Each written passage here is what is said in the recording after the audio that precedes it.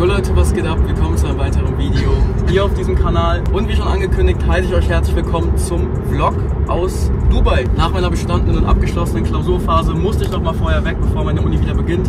Und ich bin jetzt hier mit äh, zwei Kollegen, Oskar und Leon, in Dubai, mache ein bisschen Urlaub, 5, 6 Tage und ich nehme euch ein bisschen mit, mache einen Vlog. Aber das ist auch nicht das einzige Video, denn wir sind schon seit zwei Tagen hier. Die ersten zwei Tage war aber das Wetter eher wack, dementsprechend waren wir da viel in der Mall. Da kommt auch noch ein extra Video, entweder kam das schon oder das kommt noch, wo wir ein bisschen shoppen waren. Jetzt haben wir noch so knapp vier, fünf Tage mit gutem Wetter.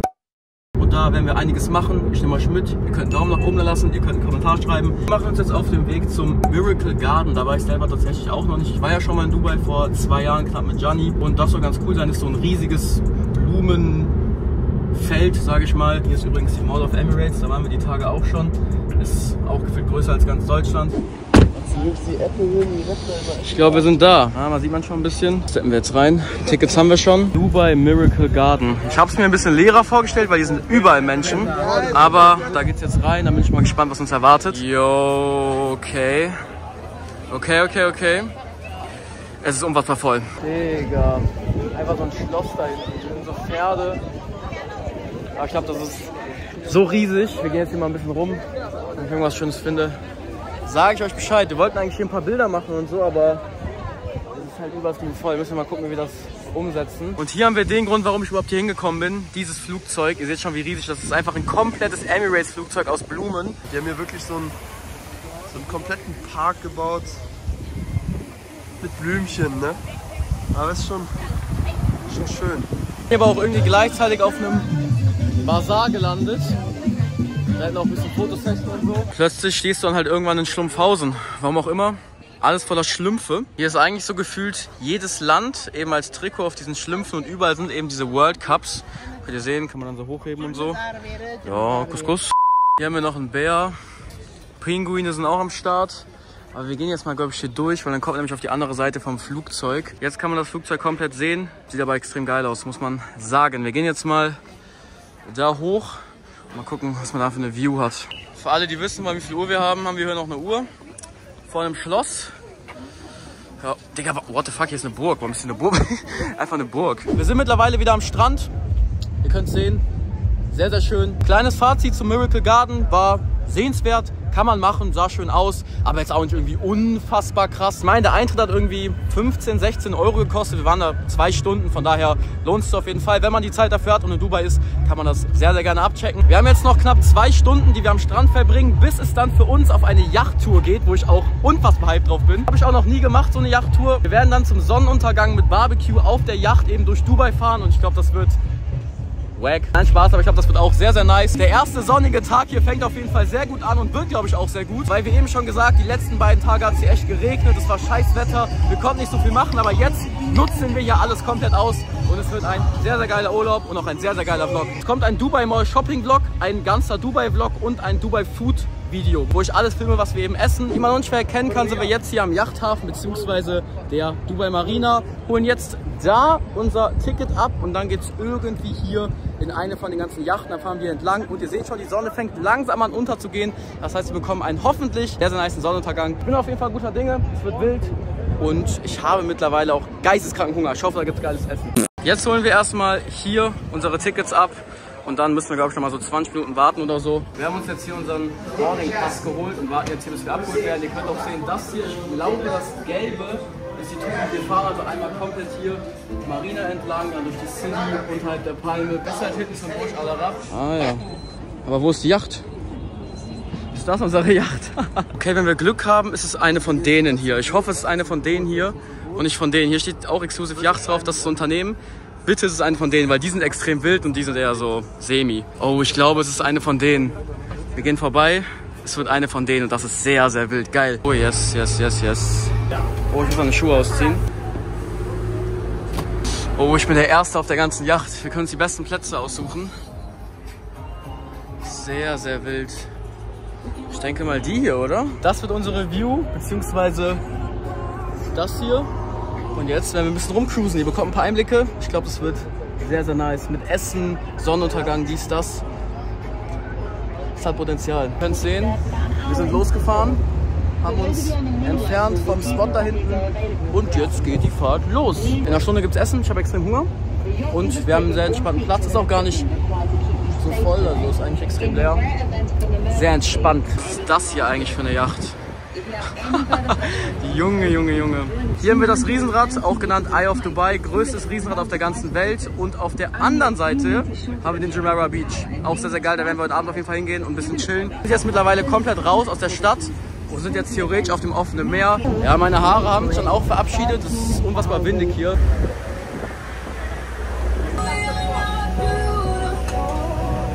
Da hinten auf der Spitze der Palme haben wir das berühmt-berüchtigte Atlantis Hotel mit einem unfassbar krassen Wasserpark, wo wir vielleicht auch noch hingehen werden, weil der soll auch extrem krass sein, auch glaube ich der größte der Welt. Und da hinten, das Gebäude ist by the way unser Hotel. Na, kann man jetzt auch mal sehen. Steppen wir nach unten, mal schauen, was hier so abgeht. Ah, hier kann man sich was zu trinken holen, okay. Ja, kann man machen, oder? 80% Zucker, die Burger gemacht. Sehr, sehr wild. Das ist by the way das Five Palm Hotel. Da waren wir letztes Jahr. Essen ist ready. Sieht doch sehr, sehr vielversprechend aus. Cheeseburger, hier noch so Teile und Wassermelone. Und das wird sich jetzt reingehauen. Tour nähert sich schon langsam dem Ende. Wir sind jetzt hier nochmal vor dem Busch Al Arab. Und jetzt geht es, glaube ich, wieder zurück zur Marina. Und dann ist es auch, glaube ich, schon wieder fast vorbei. Das haben wir gezahlt. Ich glaube, 60 Euro. Für das Geld kannst du hier gar nichts gegen sagen. Wir haben Essen. Wir haben zwei Stunden hier rumgecruised im Sonnenuntergang. Wir hatten Platz. War eine schöne Yacht. Zusammengefasst wirklich sehr, sehr geil. Wenn ihr das auch mal machen wollt, dann macht das auf jeden Fall. Und ich melde mich wieder, wenn es irgendwas gibt. Gesagt, getan. Wir sind mittlerweile am JBR. Wir laufen jetzt hier ein bisschen rum, gehen vielleicht noch was essen, rauchen eine Pfeife, chillen uns irgendwo hin. Sieht by the way aus wie, keine Ahnung, Tingle Tangle Bob oder so, aber auf der Yacht war es so windig. Dementsprechend Haare extrem lost. Es wird auf jeden Fall ein sehr erfolgreicher, entspannter Tag.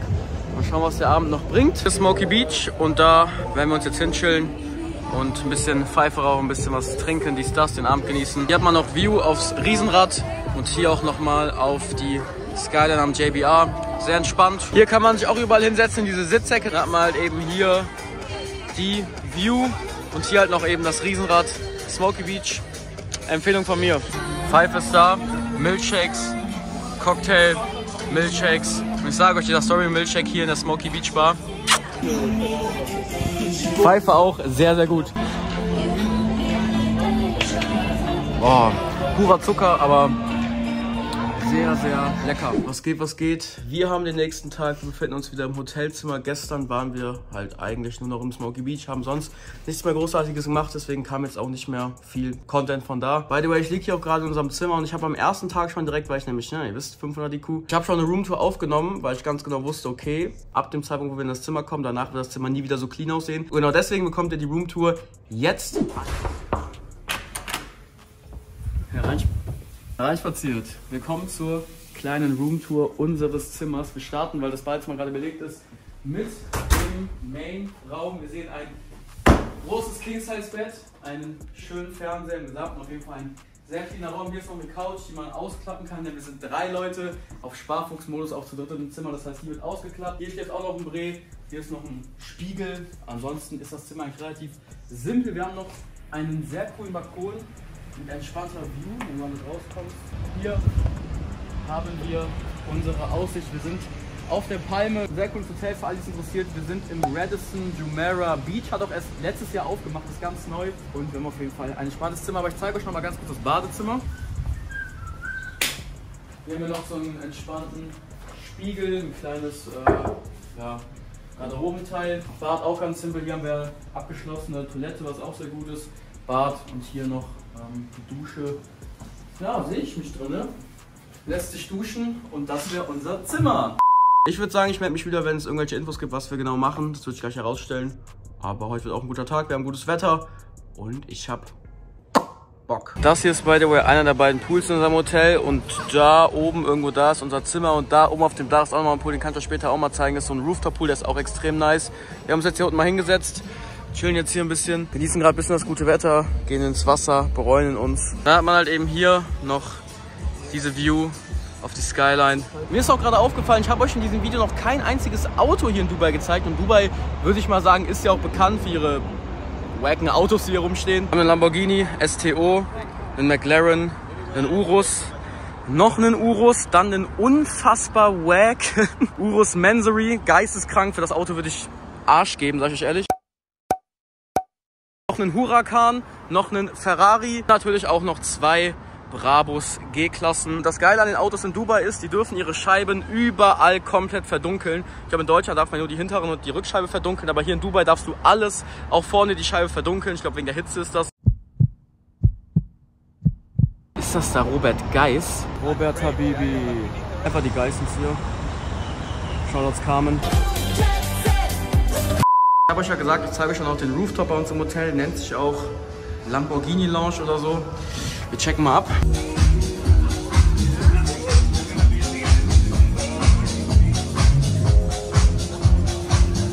Ja, lässt sich glaube ich sehen. Da unten lagen wir eben am Pool und hier haben wir eben den Rooftop. Da ist glaube ich so eine Art Restaurant in der Ecke und hier haben wir einen Pool. Ein Pool. Und auf der anderen Seite hat man eine sehr, sehr nice View auf Downtown Dubai. Burj Khalifa, Burj Al Arab, kann man zum Beispiel beides sehen. Auch, ja, doch. Ich glaube, besser geht's eigentlich nicht. Wir werden jetzt abgeholt und dann geht's für uns circa 45 Minuten in die Wüste. Und was wir dann machen werden, das werdet ihr sehen. Ich hab Bock, die Jungs haben Bock und es wird sehr wild. Es geht los, wir wurden eingesammelt. Let's go. Okay, es wird langsam. Wir nähern uns dem Ziel. Noch nicht ganz, aber es wird wüsterisch. Wir sind da. Ah ja. Ah, was gibt's hier? Oh, wild, wild, wild, wild, wild, wild, wild. Ja. Ich kriege jetzt noch meine Fanta und dann geht's los. Das ist unser Auto. Da geht's jetzt rein und dann fahren wir irgendwo ganz weit weg. Ich bin echt gespannt, was mich erwartet. Slava!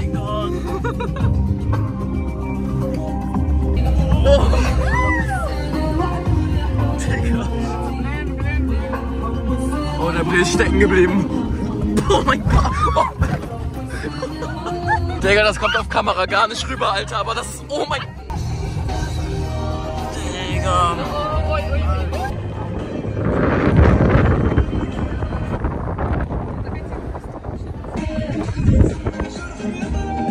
Oh mein Gott, das ist ein.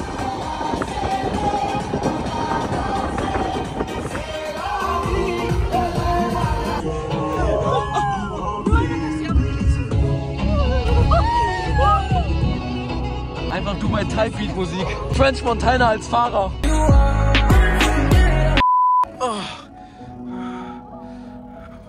Wow. Also ihr könnt sehen, wir haben jetzt einen kleinen Stop gemacht, machen jetzt hier ein paar Bilder, gucken uns die Wüste an. Die Sonne geht gerade runter, ist schon Sonnenuntergang. Und diese Tour bis jetzt mit diesem Auto ist komplett gestört. Es kommt zwar auf dem Video gar nicht so rüber, das sieht aus, als würden wir so ganz normal so fahren. Digga, wir fahren hier wirklich gefühlt eine Achterbahn, das ist echt gestört. Wir machen jetzt ein paar Bilder, chillen noch ein bisschen und dann fahren wir mal weiter, mal gucken, was uns noch erwartet. Bis jetzt sehr wild. Wir sind jetzt nochmal hier zu Kamelen gefahren. Die Brüder sind da auch am Chillen. Was wir jetzt mit denen machen, keine Ahnung, aber wir sind jetzt bei den Kamelen. Also das Ganze dafür gedacht, dass man halt hier mit so Kamelen rumgehen kann. Aber ich weiß nicht, ich, irgendwie, ich habe glaube ich nicht so Turn darauf, weil sieht mir jetzt nicht so nice für die Tiere aus. Glaube, dass die das jetzt so fühlen. Ähm, kann man, vielleicht machen wir es noch, vielleicht auch nicht, aber ich glaube eher nicht. Jetzt geht es auch langsam wieder back für uns. Hier, ihr könnt auch sehen, die Sonne ist langsam auch komplett unter. Fragt nicht warum, aber wir sind wieder in der Mall, warum auch immer. Für uns geht es nämlich jetzt zu CZN Burak, Jan Burak, wie auch immer. War ich noch nie in meinem Leben, wir haben extrem Hunger, haben den ganzen Tag wieder noch nichts gegessen, deswegen geht es jetzt erstmal dahin. Wer von euch aber genauere Infos zum Essen haben möchte, irgendwie ein kleines Review, wie es war, bla bla bla, der sollte das Video abchecken, wo ich euch eine komplette Foodtour durch Dubai gebe. Entweder ist das schon online oder es kommt noch online. Ich glaube, es kommt aber noch online. Ich hätte nicht gedacht, dass ich die Mall hier noch mehr erblicke, aber wir mussten jetzt einmal komplett durchgehen, denn der Laden ist auf der anderen Seite der Mall und nicht auf der Seite, wo wir waren. Deswegen noch einmal durch. Ihr könnt sehen, extrem, extrem voll, aber ich glaube, das liegt daran, dass gerade auch Wassershow ist, beziehungsweise, nee, ist gar nicht Wasser, nichts. Wir müssen auf jeden Fall jetzt da lang oder komplett hochgehen und dann ist da oben der Store. Ah ja, wir haben es geschafft, da ist der Laden. Aber alles weitere dazu bekommt ihr in einem extra Video. Das ist auf jeden Fall der Bre, um den es hier geht.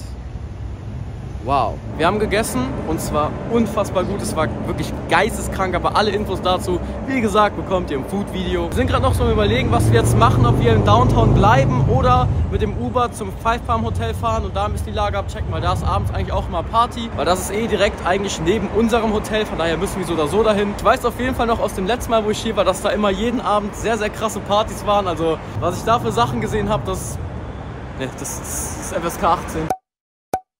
Was geht, was geht? Wir haben den nächsten Tag. Ich bin eben wach geworden. Das Wetter ist sehr, sehr nice. Wir waren gestern, nachdem wir bei Burak waren, noch kurz im Five Palm Hotel, haben da ein bisschen die Lage abgecheckt, haben da ein bisschen gechillt, was getrunken etc. Aber da habe ich jetzt auch irgendwie nichts gefilmt. Heute ist unser letzter voller Tag. Das heißt, eigentlich müssen wir heute noch mal ein bisschen was machen. Aber ich glaube, so wie es aussieht, machen wir heute einen Pool Day und nehmen die letzten Sonnenstrahlen noch mit, um uns ein bisschen noch zu bräumen, bevor wir zurück nach Deutschland kommen. Morgen um 15 Uhr geht unser Flug nach Hause. Das heißt, wir haben heute den ganzen Tag, morgen noch so den Vormittag und dann geht es wieder ins kalte Deutschland und dann beginnt auch am 6.2. meine Uni wieder mein Semester.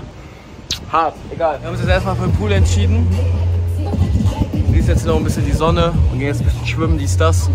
Wenn es irgendwas gibt, melde ich mich, aber ich glaube, heute, heute wird ein sehr chilliger. Kurz beten, dass mein Handy wasserfest ist. Wir machen einen Live-Test. Das hat geklappt, oder? Kleines Update, wir liegen mittlerweile am Strand und haben uns auch dazu entschieden, den ganzen Tag bis abends halt hier zu bleiben. Dementsprechend gibt es heute nicht so viel zu filmen und nicht so viel zu zeigen, weil wir machen heute echt einen chilligen, vielleicht heute Abend noch irgendwas, wenn wir was essen gehen oder was weiß ich was. Muss aber auch mal sein. Wir haben jetzt jeden Tag hier irgendwie den ganzen Tag Action gehabt, haben irgendwas gemacht und jetzt brauchen wir mal so einen kleinen Off-Day, einfach nur die ganze Zeit die Seele baumeln lassen. Ich euch bestimmt auch noch ein paar Einblicke hier vom Strand, ähm, was ich so hier sehe und mache, wenn es so spektakulär ist. Die View und der Ginger Ale. Der kommt sehr gut. Leider, ihr merkt es vielleicht selber, ist mir gerade auch aufgefallen, dass meine Kamera, die ist irgendwie ein bisschen verschwommen, oder nicht? Jetzt können wir mal ganz kurz überlegen, was habe ich eben nochmal gemacht? Genau, ich war mit meinem Handy im Pool. Digga, ich krieg's immer wieder aufs Neue in irgendwas im Urlaub kaputt zu machen. Ne? Letztes Mal war es meine Tasche, jetzt ist mein Handy.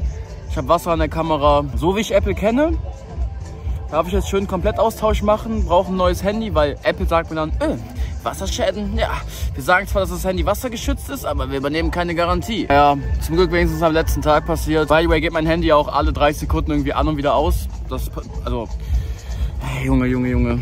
Warum ihr am letzten Tag nichts mehr gesehen habt und ich schon wieder im Flugzeug bin, das erfahrt ihr gleich, wenn ich zu Hause bin.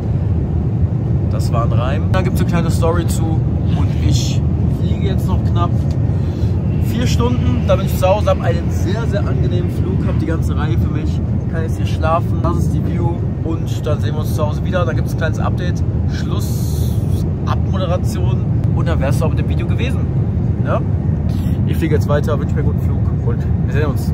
Und da bin ich auch schon wieder von meinem Zuhause aus. Ich bin gelandet, ja. Wir haben jetzt auch schon den nächsten Tag. Ich war nämlich gestern beim Apple Store und habe erfahren, dass mein Handy einen Wasserschaden hat, was jetzt auch nicht gerade unwahrscheinlich war. Wie ich schon gesagt habe, Apple meinte dann zu mir, yo, du musst einen Komplettaustausch machen. Kostet beim iPhone 14 Pro 1200 Euro. Dann habe ich dir gesagt, yo, ich kann mir doch einfach für 1400 Euro ein neues iPhone kaufen, mein altes extern reparieren lassen und das alte dann verkaufen, da bin ich doch viel billiger bei raus. Da meinte sie so, ja, das stimmt, das, ja, das kannst du machen. Dementsprechend habe ich mir jetzt ein komplett neues iPhone 14 Pro Pro gekauft, werde mein altes iPhone 14 Pro reparieren, dann verkaufen und dann bin ich wahrscheinlich am Ende des Tages billiger raus. Das hätte ich jetzt einen Komplettaustausch bei Apple eben gemacht, weil da hätte ich das Handy abgegeben, hätte 1200 Euro gezahlt, hätte ein neues Handy bekommen. So, das wäre dann das Prinzip gewesen. Ich finde es nur immer wieder krass, weil mit meinem alten iPhone war ich so oft im Pool, im Meer, was weiß ich was, das ganze Jahr über. Da ist nie irgendwas passiert. Und jetzt hole ich mir ein neues iPhone, gehe einmal in den Pool in dieser einen Szene und es ist kaputt. Nice. Auch das nochmal dazu, von wegen 6 Meter Wassertief bis zu 30 Minuten.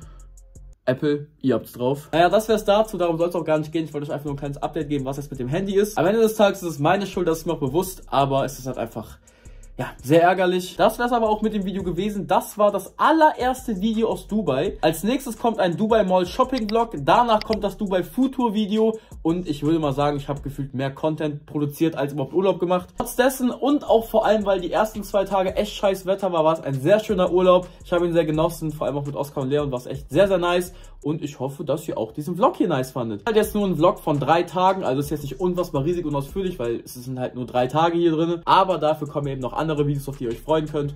Und ich denke mal, damit sind wir alle sehr glücklich. Ansonsten könnt ihr jetzt noch einen Daumen nach oben lassen und auch gerne einen Kommentar schreiben und auch sehr gerne ein kostenloses Abo dalassen, um mich zu supporten. Haut rein, freue euch auf die nächsten Videos und wir sehen uns. Tschüss.